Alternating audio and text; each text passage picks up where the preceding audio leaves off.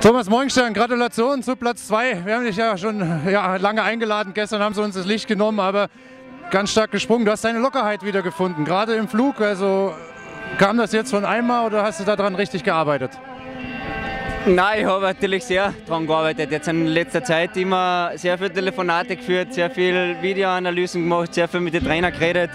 Und ja, schlussendlich habe ich mit sehr vielen Dingen, die was ich überall irgendwo zusammengeklaubt habe, äh, sehr viel anfangen können und habe das probiert umsetzen. Und mittlerweile habe ich das Feeling wieder gefunden, wie mir Hocke, wer Position sozusagen ausschauen soll.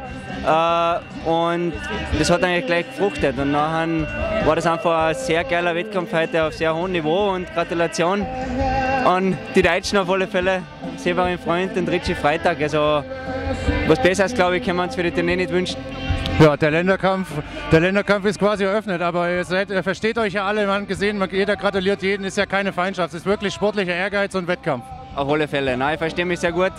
Äh, mit den zwei Jungs, äh, sehr coole Typen, sehr sympathische Typen, äh, die man einfach so miteinander reden kann und es ist schön, also so ein ehrlicher Kampfgeist irgendwo dabei dabei zu haben. Und heute war der Ritchie einfach den uns besser und deshalb hat der Hut gezogen. Also ich werde probieren, da mich Step by Step weiterzuentwickeln, weiter mehr Selbstvertrauen tanken und nachher in Engelberg meine nächste Chance wahrnehmen und auf alle Fälle im Hinblick auf die Tournee uh, Step by Step weiterkommen. Gut, und du bist ja auch ein cooler und sympathischer Typ und es geht ja dann gleich weiter in Engelberg nächste Woche.